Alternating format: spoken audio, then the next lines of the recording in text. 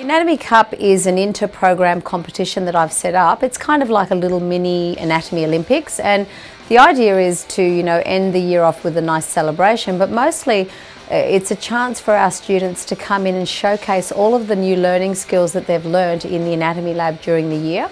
Um, I teach, I use a lot of innovative teaching techniques to teach them. It's very, quite different to what traditional teachers will use. I found it absolutely amazing. Yeah, after uh, after 12 weeks of pretty intense studying of anatomy, which is pretty new to every one of us, um, it sort of all just comes together for you. I found it was, I guess it was a struggle to try not look at the books and that and try read word for word, but like actually get out there and draw it on the whiteboard or draw it on your classmate. And I just found it, it just helped me so much more. It's amazing. You can just see how enthusiastic people are about it having fun with anatomy instead of just the boring reading a book and, and uh, answering questions.